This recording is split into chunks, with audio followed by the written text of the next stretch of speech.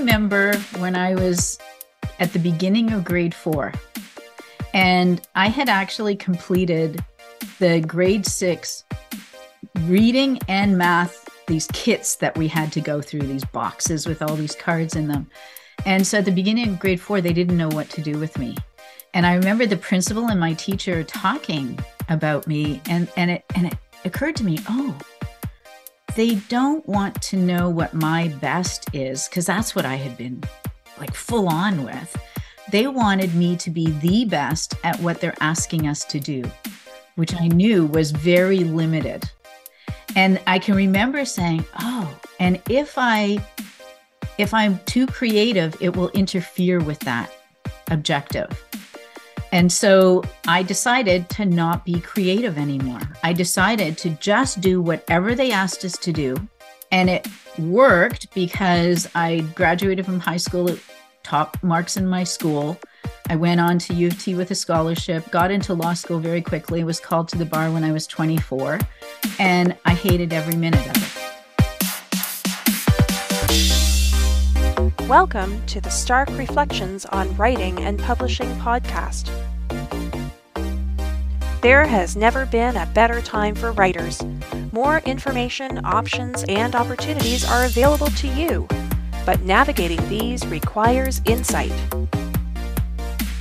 Join Mark Leslie Lefebvre as he draws upon more than a quarter century of experience as a writer, a bookseller, and a trusted book industry consultant to explore and reflect on the writing and publishing landscape to help you make informed choices on your writer journey.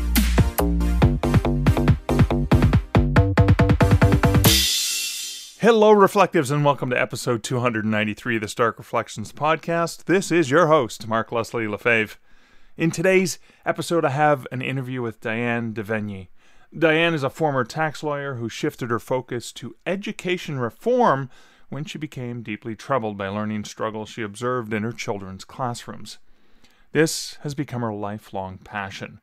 With more than 20 years in the field, she's sharing her observations about literacy and learning in a Dear Genius series of books that starts with Harness the Hidden Power in Your ABCs. Her hope is that children and adults everywhere can finally find relief in the freedom to soar in their own zone of genius. And I so love this conversation, particularly because of the way that she talks about this foundation and creativity, which of course we all love and aspire to so much as creative people and as writers. And that's coming up later in the episode. First, let's hear a word about this episode's sponsor. This episode is sponsored by Findaway Voices. Findaway Voices is a platform that allows you, the indie author, to get your books out into the wide world of audiobooks. More than 43 retail and library platforms are waiting for you and your awesome books through Findaway. You can use Findaway Voices to find a professional narrator. They have a voices marketplace where thousands of professional narrators from around the world are there, and you can sample them, check them out, and see if they're right for your audiobook. You can also upload your own audiobook files if you've either done the audiobook yourself or if you've worked with a narrator directly, paid them up front, and want to load them to Findaway Voices. That's the great thing about Findaways. You have the choice, you have the options. You can even control your prices over at Findaway Voices. You can get into Chirp audiobook deals through Findaway Voices, as well as special price promos on Apple and Barnes & Noble and other retail platforms.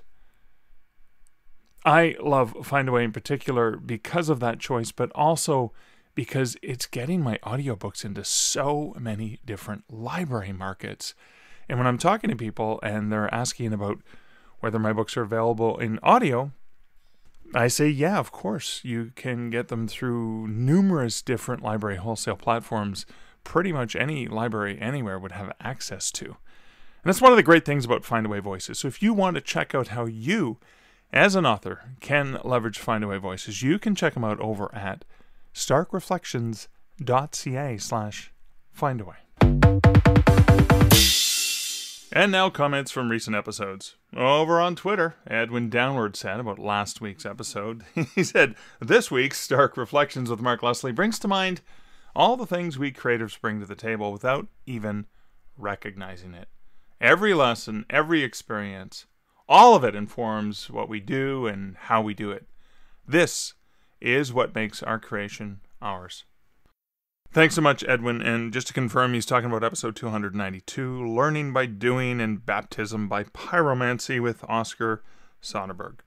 And yeah, I, I agree with that so much, Edwin. So glad that you shared that. But yeah, it is your own. We bring so much of our uniqueness to our writing. And, and then in this AI, in this AI infused world, that has made all the difference that authenticity, that humanity, those unique things from you, yes, you, dear writer, that you bring to the table when you're, particularly when you're collaborating with all these great technologies that we can leverage as authors. There was also some fantastic love in a thread of 13 tweets about successful wide publishing from Vanya Margine, uh, Rio including my interviews on uh, Six Figure Author Podcast and the Creative Penn, as well as love for my book, Wide for the Win. And, uh, and, and Vanya says, This is such a fantastic resource. All his nonfiction books are amazing, and I recommend checking them out. Well, thank you so much, Vanya. So greatly appreciated. I'm, I'm so glad you found it to be a fantastic resource because that's why I put these books together. I want to be able to help authors and and share a lot of the things that I you know compile on you know on the podcast and, and the interviews that I do, etc. I just want to compile them into a different format because different people learn different ways. Some people learn by listening, some people learn by reading, some people learn through visual, some people learn by doing, experiencing, etc. And again, that's kind of the topic uh, or it comes up a lot in in this particular episode, of course. And I also want to say a, a huge thank you to everyone, and there were so many people, dozens and dozens of people, who commented on and shared over on Twitter my BookBub blog guest post 10 tips for growing a wide global audience. And again, I was so honored uh, that the, the good folks at BookBub asked me to write this article. Um, even even working on the article with the I guess the project manager or editor who was involved in that was such a fantastic experience. It's that that experience when you have a really good editor and it just feels so good and you're like, yeah, I had this raw article and we kicked it back and forth a few times and even went to a proofreader and stuff and and and I think I think we came up with something really good together. So, you know, I, again, it's collaboration uh, that is is key in a lot of great publishing relationships. And I loved uh, being able to collaborate with BookBub for that blog guest post. And thank you uh, so much for all the Twitter love and resharing of that article. Uh, over on uh, Patreon, what I did is uh, this is our comment on one of the posts I gave to my patrons for uh, the audio. What I did is I, I had the audio of that article from BookBub and I used an AI generated voice. Actually, my voice I trained and I'm trying to remember. Um, Eleven Labs, I believe, uh, was the tool I used. I, I trained. I, I, uploaded five five minute segments of of my voice, and then I use that just to get that article out. Because again, for for my awesome patrons, I want to give you guys access to articles and content. And since you you know obviously enjoy listening, uh, an article like that that's not in audio, I, I'm trying to translate into audio for, for patrons just to make it easier to consume. And so Maddie Dalrymple said that that synthesized voice is pretty impressive. And I agree. I'll share a little bit of that synthesized, synthesized, synthesized. See, I'm going to get that wrong, but the computer, well, we'll see if it, I'll, I'll have it say synthesized voice, see what it does. Uh, I'm actually going to play that right now. She sells synthesized voices softly by the seashore. This is a replica voice of Mark Leslie Lefebvre, trained by Eleven Labs speech synthesis. I generated this after loading a handful of sample files of me speaking, and it took just a few minutes for the system to process and generate this voice, which is based on mine. You might notice that it doesn't sound quite like me, but it's not bad. This entire text, by the way, comes to about 447 characters in the quota for the subscription I've paid for. So there you have the synthesized voice, uh, so you could hear it, and uh, and on Patreon as well. Uh, Joanne Carson uh, commented. This goes back to the Sudowrite walkthrough with Elizabeth and Ann West, and Joanne said, "I learned something from every one of your episodes, but I particularly like this one because I've been thinking a lot about my relationship to AI in my writing. I tried Sudowrite out." For the free period and have now downloaded it. For me, it's an additional resource and acts like a thesaurus on steroids at times, and at other times like a co-writer who doesn't care about my coffee breath. I'm giving it a one-year trial, and then I'll see what the market has to offer. I want to thank you for keeping us informed about what's going on out there in the big world of publishing. And uh, and great, thank you so much, Joanne. I'm so glad that you see it as a potential tool that you can use to benefit. And and yeah, my computer never complains about my coffee breath or the fact that sometimes sometimes um, gaseous emissions happen in this office where I'm recording the podcast. Not just from me, but of course from a couple of the dogs that hang out here with me. They're way worse than, than I am. Must be something they ate. But uh, uh, thank you to uh, to Joanne and Maddie, and to new patron Lydia Q. Welcome, Lydia, to the patrons who support this podcast over at patreon.com slash stark reflections. Thank you to you, and welcome, Lydia, and thank you to all of the awesome folks who support this podcast over on Patreon. If you want to support the podcast, yes, you have that option of Patreon. You can also leave a review, share the podcast, of course, with someone else that you think may find value in the content that you're listening to. And that's it for comments. But speaking of comments, I am coming up on episode 300. Yeah, we can do the math. Seven episodes from now episode 300 is going to come out. And I wrote this down. I had to do that. I had to do the math. I said, okay, so, you know, March 3rd is episode 293, March 10th is 294, et cetera, et cetera, et cetera.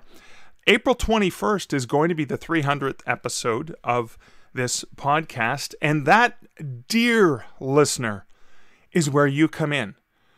I cannot have a 300th episode without you because the 300th episode of this podcast is going to be your reflections. That's right, your reflections. I want to hear your comments. I want to hear your thoughts. I want to hear your stark reflections about anything related to the business of writing and publishing.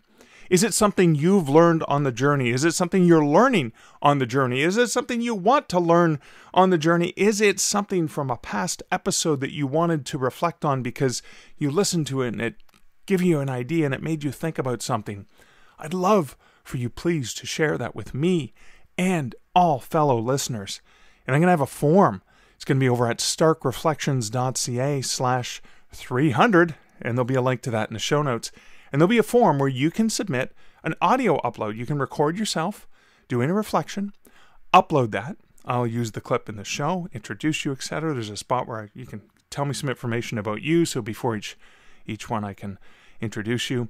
Or if you, you know, don't have the technology to record the audio or you're a little bit shy and don't want your voice to be heard, well, of course you can you can enter the text and I'll uh, do you the honor of reading that. Who knows, maybe I'll even have some some guests read for me. Some surprise guests. Let's see what happens.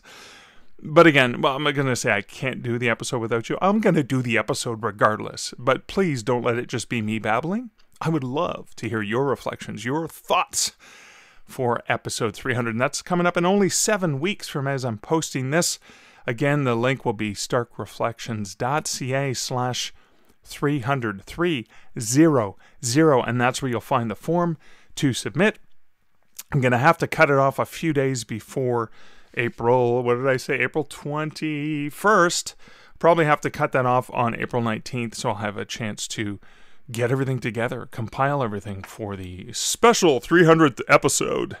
But yeah, I do want you, dear listener, to be a part of that. So that is it for my pre babble. I, of course, have other personal things to do, but ah, I can get to the personal stuff in next episode, right? I can get to personal stuff anytime in my podcast because, you know, it's my podcast and pretty much most of my babbling is personal stuff. But without further ado, why don't we get to the main content, which is my fantastic conversation with Diane Devenyi.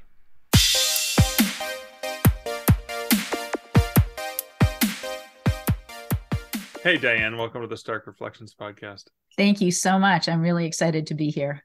So, to, where to begin is always the question. I think where to begin is maybe uh, your background before we get into some of the topics. Uh, sort of your background uh, in the field we're going to be talking about, as well as as a creative person and writer. Well, I started off being very not creative because I thought I was going to be a tax lawyer. Okay. And uh, and because of my children, I realized that I have a real passion for educational reform. Okay. And and threw myself into that as deeply as I had becoming a lawyer. Right. And and it's been a, a really interesting, challenging path, especially when you unexpectedly announce at a workshop that you are here to revamp education on the planet. You that's what you did? So, yeah, I I was looking for ways to really support my children and and somebody had introduced me to this actually a dyslexia correction program that I saw as having an amazing approach for learning for everyone what they now call universal design it okay. not only prevents problems for those who don't learn in traditional ways, but it also enriches everybody's capacity to learn. But there I was with 35 seasoned educators. And, and I was um, the only non educator in the room, and we had to introduce ourselves. So I stood up and I said, I'm Diane Devenyi. I'm a mother of three, tax lawyer, and I'm here to revamp education on the planet. And then I sat down and I kind of went, oh my gosh, what did I just say? In 1999, which is when this happened, right. who was talking about the planet? What could that even look like? The only thing I felt was that it was true. And then this woman came rushing up to me and she said, You're the only person here I'm really interested in talking to. She said, That's amazing. That's like a 20 year job. And I thought, Oh, there's no way it's going to take 20 years. but here I am. in 2023 and and really feeling like it's time to to do the big launch of the vision that I've been growing for all of this time. So what what is that vision then? Well, the vision is that we really have an education system that supports 21st century humans um, because we know any of us who have paid attention to where the history of education was it was um, in the famous words of bill gates grandfather who was working in collaboration with rockefeller and carnegie um, that they didn't want thinkers they wanted workers. And and so they've done a really good job at creating workers. And in the 21st century if you're not a thinker and you know one of my favorite quotes is alvin toffler the illiterate of the 21st century will not be those who cannot read and write. They will be those who cannot learn unlearn and relearn.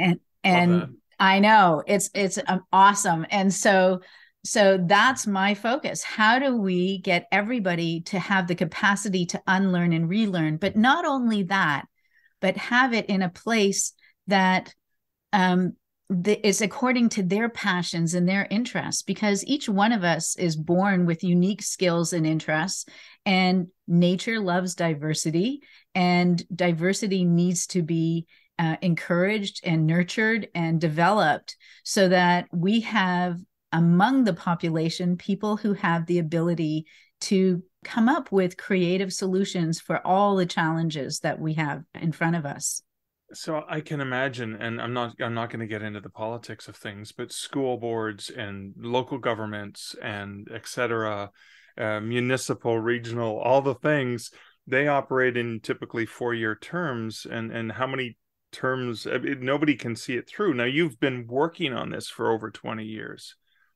but you're also working probably with existing entities that are not designed for long term thinking. It seems like, right? Well, certainly when you're talking about public education. Um, and that's why one of um, the ways that I have been doing my work is finding families who want to experience what I offer and and create this grassroots movement. Okay. But along the way, you also encounter occasional real education advocates in the system and we're working together to find ways to to shift things. And I think it used to be that everybody was able to do things in the privacy of their own office. And now nobody has the luxury of being private anymore. And so if you have enough interest and you use social media correctly, you can encourage massive shifts and and then occasionally champions will show up i i just learned that the mayor of new york is dyslexic didn't know till um, he was an adult that that was a challenge that he had. Right. and he's really committed to turning things around for the schools in new york city. Oh wow. Okay. So so anything is possible when when there's a will. And so and you've been working you talked about the grassroots and specifically with families because again it is it almost like those who've chosen not to send their children into the traditional education system, but to do homeschooling. I, I have a good friend who has done a remarkable job of creating creating a, a, curriculum of creating thinkers right. and, and and people who can be passionate about different experiences as opposed to good factory workers i guess yes and the challenge is every once in a while there's an individual who learns differently who picks up literacy skills differently right. and if you don't know how to support them then it, it becomes you know this this puzzle that you're trying to solve and and so that's where i'm coming in because i've I, i've really now settled on a hidden root cause of many issues in literacy and learning and that even often lead to attention issues. And and the thing that's so surprising about it is that it's actually really easy to resolve when you know what you're looking for. Right. So yeah so it's it's now now i'm really excited to be sharing this out in the world in the biggest way possible. And one of the ways you're sharing it is is a, a, a new book relatively new book can you talk a little bit about that and and how this helps people?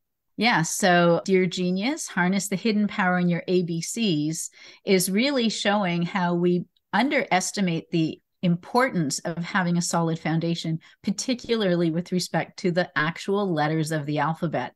And for people who are really wildly visual thinkers who can bend reality, whether as an athlete or as a musician or an artist, you know think about all the actors who are now publicly stating uh, that they have dyslexic symptoms and they have the ability to be somebody else in right. a believable way so they they all have this ability to bend reality and nobody has shown them how to use those talents to actually be successful with literacy and and it's it's not that complicated. In fact i trained with a man who was autistic and dyslexic and didn't speak until he was 12 years old. And in his late 30s he understood that there were certain things you could do that would be the foundation. And and that was who i trained with in 1999 and i i found out that in the 1990s they had done a 6 year study in california schools and had children from grades one through three experienced some of this this way of learning. They had not one referral to special ed not one diagnosis of add and two to eight times the national average being referred to gifted programs. And wow. i thought wow this is amazing. Um, I, I just was so excited to watch it unfold and take over the education system and it didn't happen. And and i started looking at well why didn't it happen well because the way that they did it they had a lot of parent volunteers so that the parents were helping the children experience these programs but they never worked with more than six children at a time which is not going to happen in a classroom so you can't, oh. you, you know, you can't go into any school and say, well, you know, as long as you can get a whole army of parent volunteers and never, see, you know, then then this is going to really work. And they're going to go, thank you. Um, so I, I said, okay, my job is to figure out how to make this work in a classroom setting. And that's when I started in Toronto schools doing pilot projects for a number of years. And I created a whole new process and system and materials for achieving the same result but it could be done by one teacher in a classroom. And it's through collaboration, through team building, all the other skills that we want to develop anyway, you know, the social emotional learning, all Right. of that coming into play. And so to prove it, I opened up a summer camp and I had 80 campers and I could facilitate 80 campers at one time oh, with this program and we had phenomenal results. The only reason I stopped doing it is somebody said, "Hey, why don't you think about getting a degree in education because all I had was a law degree." And so so all I, went- had was a law all I all I had was a law degree. Which, which which opens doors when you want to talk to people, but it also has them wondering like, what do you know about education? And Yeah. so so I went back to school to get a master's degree in education. And on the first day, I found out that there's no summer holiday in graduate school. In law school, we had summer breaks, and I clerked for for judges as part of my summer break job. And and I didn't know that there was no summer holiday. And so I went and I said, Well, but I have this summer camp I'm doing. They said, Well, you could turn it into a research project, but here's the stack of of approvals that you'll need to go through to be able to to have children involved in research. And I said, okay, not going to do that. Wow. Um, but I I now I have I have been putting together a concept that I've been working on ever since then of having families go to resorts or possibly on cruise ships and have this immersive experience together Oh, um, where where they all go through it. And and sometimes and so now the the special thing that I do in my my private programs is I have the parents experience the same thing that their children do for themselves. They think, "Oh yes, I'll help Johnny." I say, "No, no, no, no. Johnny's got his own thing. You've got your own dashboard, all your materials. You're going to do the same thing." because we don't want Johnny to get smarter than you, and it's inevitable if if if if you don't do it as well. So um, so that's what we do. So, uh, so, so for the book, then, is the book for parents? Is the book for educators? Who is this book for? Well, I I wrote it to who I call the genius, um, and I I had in mind somebody in their twenties or possibly their thirties who still kind of is walking around a little bit wounded from ideas that they don't have the ability to write neatly or read as fast or spell properly or all those things that that were never resolved. And so i wrote it to them but i was always expecting a parent or a teacher to be reading over their shoulder and Okay. and and and getting getting all the information kind of vicariously Okay. All right. So, and and that's very much like the program. Is it's like, no, no, you're doing the homework too, right? You're not just you're not just assisting with the homework. You've got your own plate to to deal with, right? yeah and and it's been really fun to see parents you know like a chartered accountant or highly educated parents going through this and just having it blow their mind up like they're just like whoa i had no idea. And i know that from my own experience like when i was working with ron davis i i found because one of the things we do is we actually form and um, and learn the letters out of clay. And and and it's this that whole kinesthetic thing that opened up for me. And i because i used to joke and i used to say i'm a recovering lawyer. I'm recovering from thinking this is where it all happens. And and it and it it woke up in me the capacity to feel comprehension like feel comprehension in every cell of my body and Oh, thought, wow. wow and it turned me into um, somebody who wanted to keep exploring that and one way that i did was i decided to take on partner dancing which i'd been afraid to do my whole life like dancing you know like like ballroom and and Yeah, Latin yeah, yeah. As opposed those to things. yeah. Okay. and Wow. and um and i became a danceaholic and i i learned 10 styles of dance. I like and and just every like it just completely changed my life. Um the other thing that started happening is because i unlocked my creativity that i had been you know i i had actually put in prison so that i could be a successful student. Um when i when i released that i started writing spoken word poetry out of the blue and um and, and it still happens from time to time i never know and in fact one time it happened when i when i thought i was writing the introduction of the book um i was like oh my gosh it's one of those poems again and and and so it that poem is on page 108 of at the back of the book um i just kind of Oh, tucked wow. it in there as a special bonus in the index. It just says special bonus, um, just so people could could see a little bit of that. So I'm curious about how how that got unlocked uh, in in you that that you know that passion for dance, the spoken word poetry that uh, had it been there before and you said you just kind of locked it away or was it something you never even were allowed to explore? Well i remember when i was at the beginning of grade four and i had actually completed the grade six reading and math these kits that we had to go through these boxes with all these cards in them. And so at the beginning of grade four they didn't know what to do with me. And i remember the principal and my teacher talking about me and and it and it occurred to me oh they don't want to know what my best is because that's what i had been like full on with.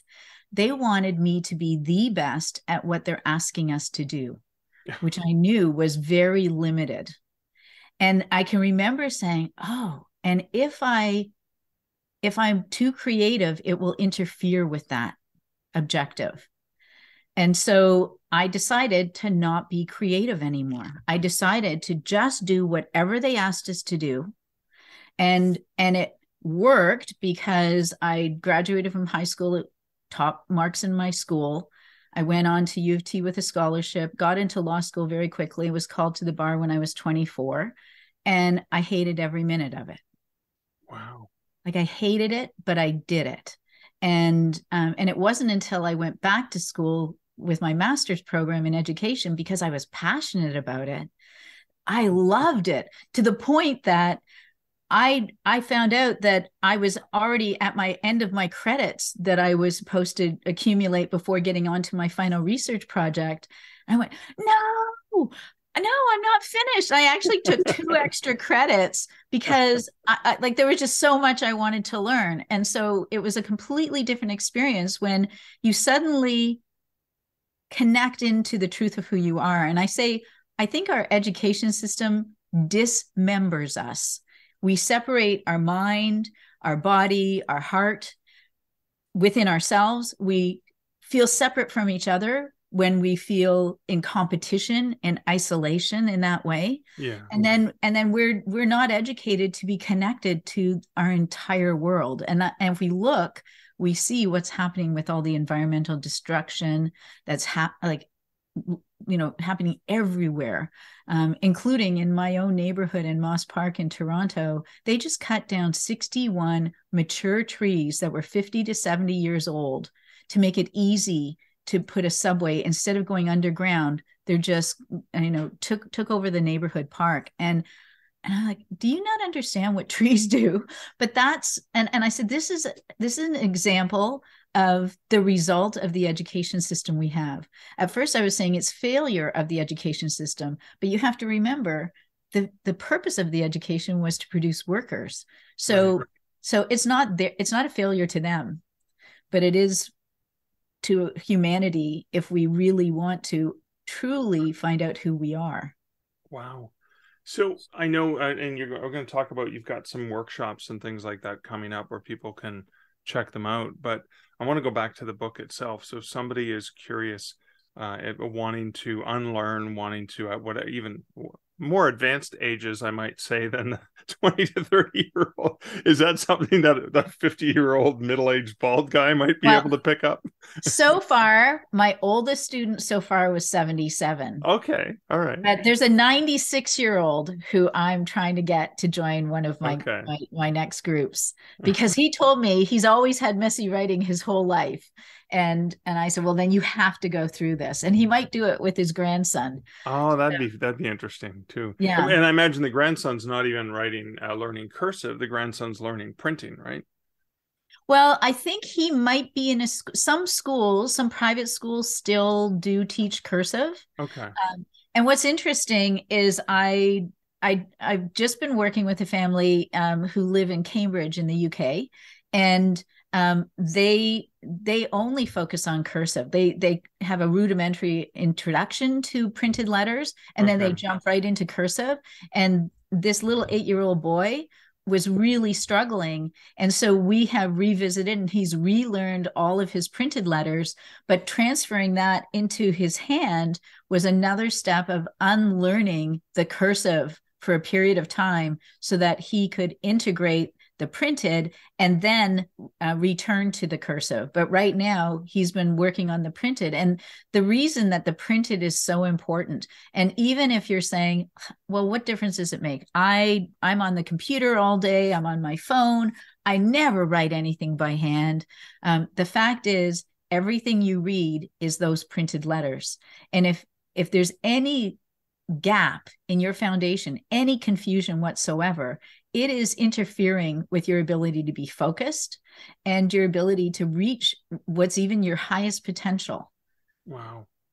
It, it, it almost it feels almost like um you know when you visit your dentist and the dental hygienist reminds you that so many of your health so much of your overall health mental and physical health comes back to dental hygiene. It yeah. almost feels like the writing is like a kind of dental hygiene for for other things in your creative life. Absolutely. Yeah, that's a that's a great analogy because it's it it really is it's it's at the root of everything and and having those letters with certainty and having the capacity to reproduce them means right. that you've got this connection you know in my my kind of insatiable learning patterns the another thing that i've done is i certified as a yoga instructor because i wanted to understand the mind body heart connection okay. better for learning yeah. and and when we were doing our training we were told we had to write everything down by hand we were told it goes from your hand through your heart into your head like this is a this is a highway okay. that um, that is it just activates the the complete human so yeah so it, it it is really it's it's so much more important than people realize. And even if you laugh it off or you or, or you joke about it or you or, or you apologize for whenever all those rare times when you have to write a card or whatever you do you may say well it's not a big deal. But the thing is it's really easy to resolve. And it's an amazing practice in unlearning and relearning something so that you are primed to be able to do that in other ways in your life so that you have this sense of resilience. The other thing that we do is we learn the alphabet forward and backwards, and you're activating your visual abilities so that you can really connect into what each letter looks like. And um, and so it's such a boost when somebody you know in the group will will now show that they've got it. And and and it's amazing what happens when when you when you have that experience. You know even the parents the parents like they're they're equally proud of their accomplishments as as the children are. Oh wow. So you have uh you have some uh, boot camps, uh, March uh, March programs that you're doing? Right. So, um, so I, I'm saying these are for anyone who's looking at fixing messy writing. I okay. guarantee in the two days um, that that we do this, and so I've my online programs up until now have been eight weeks, and to give people time to do things, um, right, a variety of things, and now I've decided the two day immersion is really powerful. Like when when from one day when you show up on Saturday to the Sunday when you leave, the transformation is so huge that it it it just is life changing.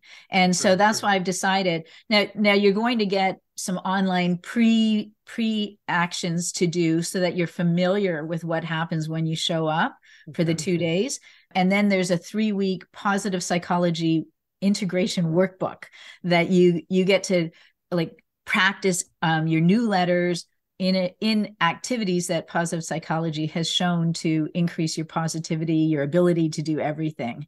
So so but in those two days it's really powerful. And so for march this is since lockdown we haven't done anything in person. Everything's been online. And right. now we're saying, you know what? March we're going to do every single weekend in march and the last weekend in March will be for people who are joining us virtually, but in person, we're going to be doing them. And we've got an extra time during March break as well. So so uh, because it's just it's so powerful when it happens in two days. Like it's it's yeah. great and people appreciate it when it happens over a couple of weeks, but in two days it's just like oh my gosh, I can't believe what just happened. Well, I think there's something powerful about the immersion. I know I, my last name is French, but I've never really spoken French. The closest I've come to actually thinking and interacting in French is when I've been immersed in France with only French speakers or in certain parts of Montreal when I was there for just a week. But mm-hmm. I had no choice but to speak French. And it was like that it the light bulb clicked. It was it was kind of like I can't get lazy and resort back to English.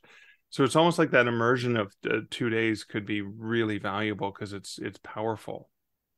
Absolutely. And just as you said, you there's this moment of that clicks and and you you can never go back you you never go back like your your way of thinking your way of thinking about yourself every right. uh, and and your curiosity and enthusiasm for life suddenly gets this kickstart and right. And and that yeah there's something about it. And that's why i've decided this is what we're going back to.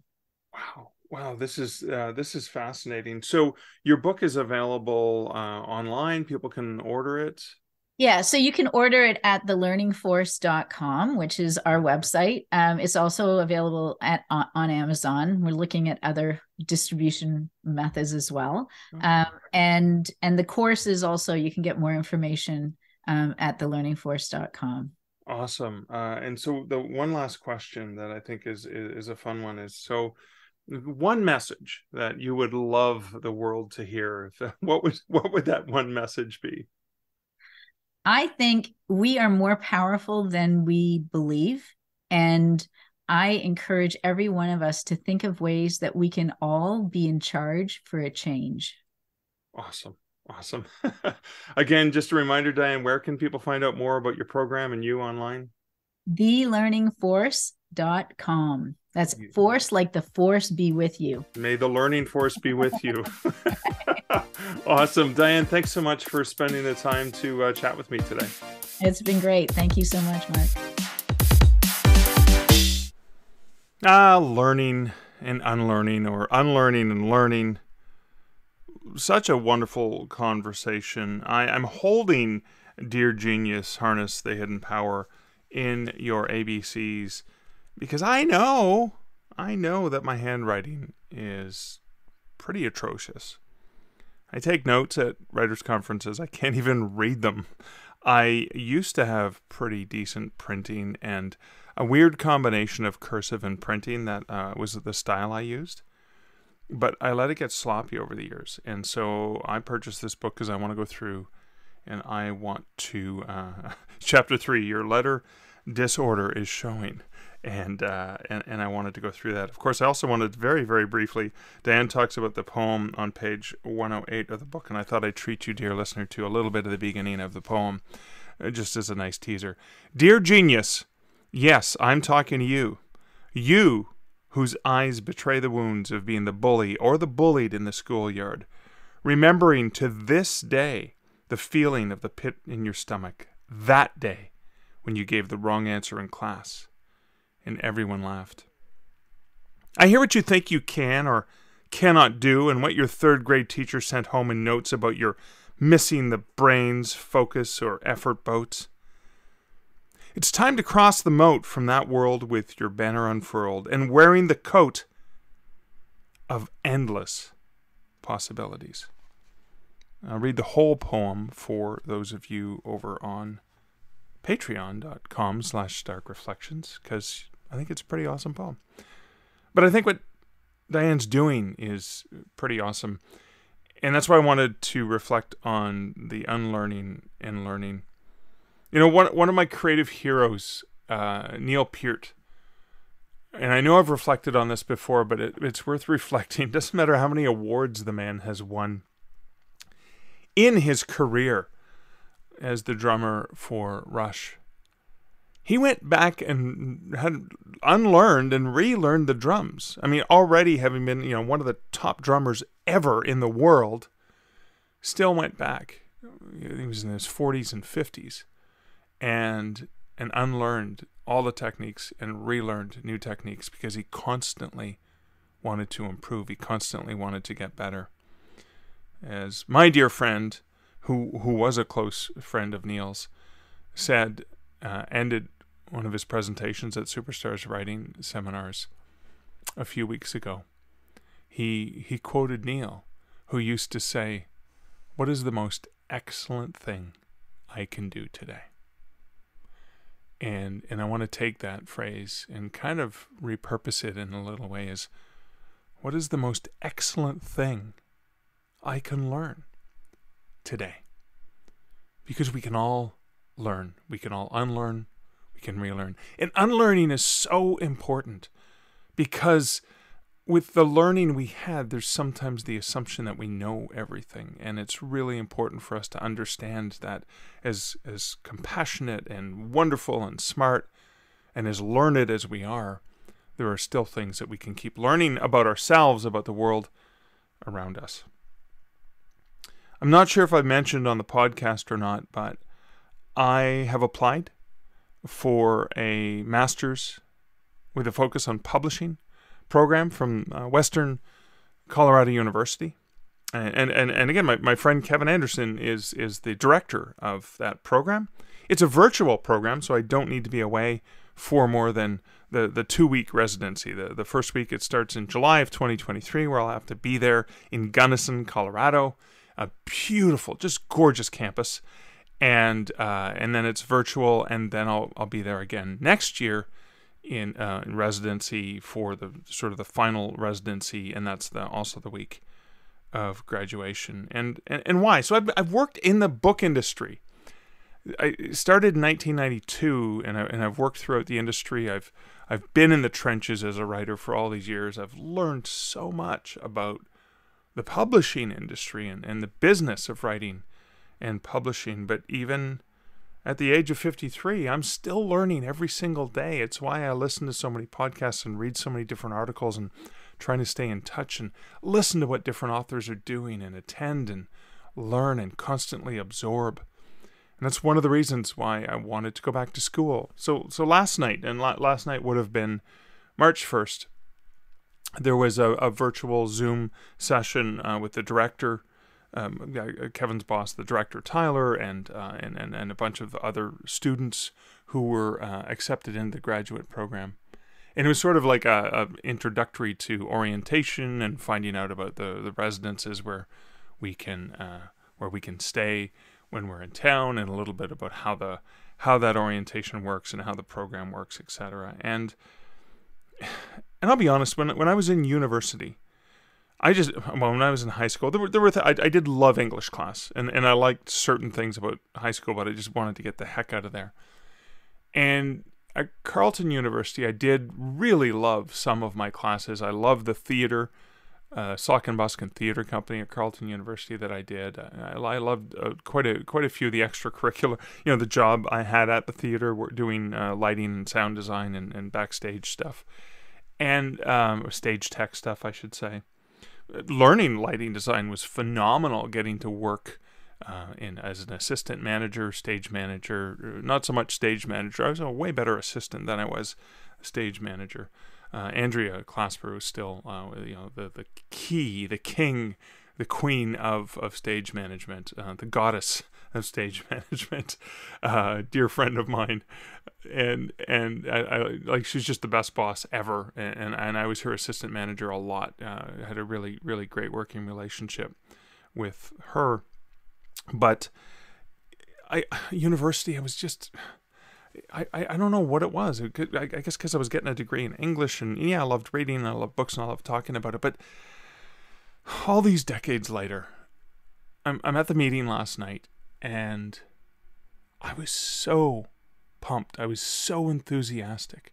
There were there were people from the, the parallel disciplines. So there's there's the MA and MFA pro- programs, and I'm not in the MFA. I'm just in a one year MA program, and with with a concentration on publishing. But there's folks from nature writing and genre writing and screenwriting and poetry and and you know I was just enthusiastic being with these people who are also like me and and several of them were older like myself. And just so enthused to to to want to be there. Because when I went to university it was like you have to do this. You have to do this. And now I want to do this. I mean I was I was there last year in Gunnison. They flew me in. They paid me to go and and do some guest lectures in in Kevin and Allison's courses for the publishing concentration. I got to spend a week immersed as you heard uh, Diane talk about that immersion I was immersed there with the students for a week and and instead of just showing up just for for my lectures now I, I still had work to do and stuff from the hotel room but I, I did a lot of my work from just outside the classroom so I could still listen to and attend to what was going on. And I remember I remember tears in my eyes watching with pride watching the graduation of some of the cohorts because again I'd, I'd, done virtual chats with with them going back uh, you know the previous year as well I was so proud of them I was so excited and they were so invigorating to watch and inspiring. And and it was when I was sitting in the audience that I said, "Damn it. I want to do this. I need to do this. I need I need to remind myself that I can always learn." That's a long reflection uh, about learning and unlearning.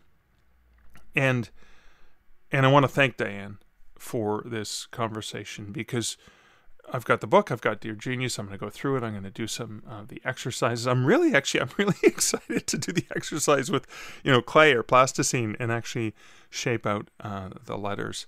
I'm excited to learn the alphabet backwards. I'm really excited to go back to the foundation and see what I can do. Just like Neil Peart went back to relearning a different way of holding the drumsticks after decades of hammering on those drums. I'm so excited about what that's going to do, what that's going to bring me as a writer and as a person, and, and what that's going to open up for me. So that's it for this reflection. That's it for this episode. Just a reminder if you have a reflection that you'd like to share on this episode or any episode, leave the comments over at starkreflections.ca. You can at me on Twitter. I'm at Mark Leslie. Or even better, even better, dear, dear listener, I really do want to hear your voice. Over at starkreflections.ca slash 300, I want you to go check out the forum, upload your own reflective audio for anything. It could be any of these episodes, it could be anything related to your reflections on writing and publishing, anything related to the business. Would love to hear your reflections because I think the 300th episode having having the diversity of voices that come from you would make it way better than just me talking and reflecting. I want to learn from your reflections and I know there are other listeners who'll be able to learn from your reflections as well. So thank you in advance for sharing your awesome reflections. And thank you so much for listening to the Stark Reflections podcast. Like I said before, I'd love it if you could share this episode or any of the episodes that you really enjoyed with someone else that you think would get value because that's kind of paying it forward. And of course, it helps me as well. So thanks for helping me. Thanks for being with me. And thank you for listening to this podcast. And thank you to Diane who was our special guest on this episode. And so, until next week and episode 294, this is, as always, Mark Leslie Lefebvre wishing you great writing and good Stark reflections. Thank you for listening to the Stark Reflections podcast. You can find show notes for each episode at starkreflections.ca.